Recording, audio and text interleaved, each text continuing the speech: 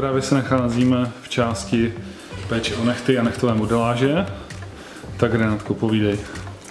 Co všechno tu děláš?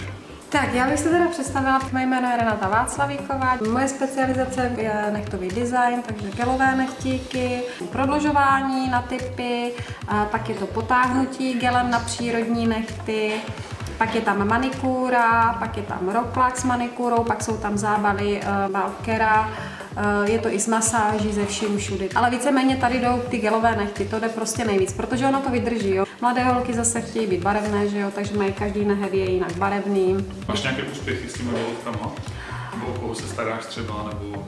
Mám úspěchy, třeba u nás byla i paní Květuška Fialová, ta byla u nás velmi spokojená, tu jsme dělali jsme jí manikuru, dostala od nás poukaz vlastně takový jakoby dárek a vrací se k nám. Předpokládám, že při tom vytížení je potřeba se u tebe objednat? Ano, u mě se objednává, je to lepší, ale může se stát, že mám tady pár zákaznic, které zavolají, tak to řešíme tím způsobem, že si ji buď vezmu brzy ráno nebo večer, mě to nevadí. Jo.